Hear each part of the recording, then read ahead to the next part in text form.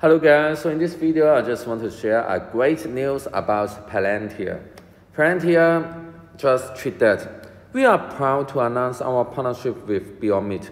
Not only did Beyond Meat attend Plant, uh, Palantir Foundry Con, they bought a truck of plant-based breakfast treats for their fellow participants.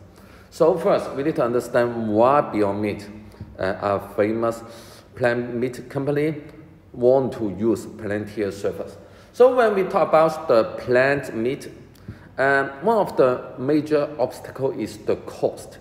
The plant meat involves great research and development costs, and each meat is not cheap at all. It's quite expensive. So now when the economy go down, more people okay decide to buy the original real meat instead of the beyond meat. It's expensive, especially now I live in Asia and uh, be, uh, believe me, beyond meat here is so expensive.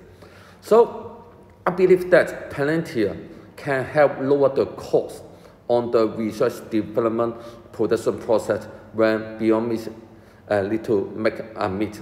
So how can they do it? Because when you, uh, the whole plant meat in, uh, in Beyond they are using a factory process, okay? Step by step by step by step, so it's a flow. And then Palantir can analyze the flows and find out in which part, okay, some of the procedure maybe can be deleted or simplified, or in which process the waste of the plant meat is the highest. So they can collect all this information and then help reduce the cost. And it is important because uh, in so many countries, a lot of people actually they cannot afford to buy the real meat. So if there is a substitute plant meat with lower price, a lot of people will try it, and more and more people become vegetarian these days. So we believe that it is a dry market, and now Beyond Meat use its product, use its service. So you can see that Palantir is getting global international recognition from all other tech firms. It is magnificent. So um, people, if you like my video or if you agree with what I said, um, please subscribe.